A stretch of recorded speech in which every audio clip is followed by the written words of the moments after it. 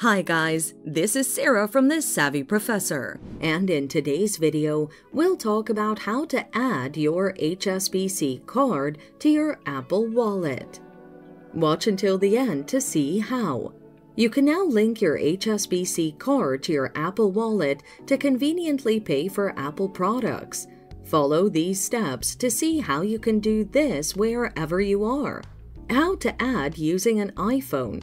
First, ensure that you're using the latest version of iOS. Open your Wallet app and tap the plus icon at the top right corner. Scan your card with your phone camera by positioning it on the frame and following the instructions. Select HSBC to be your default payment card on Apple Pay. How to add using the HSBC mobile banking app. Log into your account using the banking app.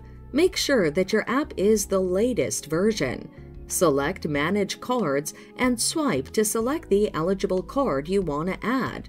Click Add to Apple Wallet, then follow the instructions to add your card to the Apple Wallet. And there you have it.